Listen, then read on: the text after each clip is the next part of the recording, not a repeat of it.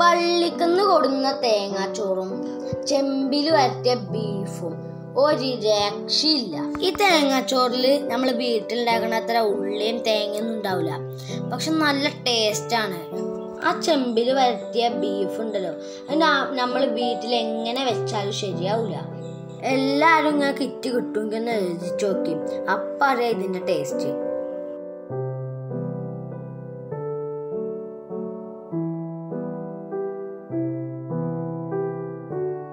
Video ഇഷ്ടമായ like ചെയ്യുക share ചെയ്യുക സബ്സ്ക്രൈബ് ചെയ്യുക. തൊട്ടടുത്തുള്ള ബെല്ലൈക്കൺ ഒന്ന് ക്ലിക്ക് ചെയ്യണേ.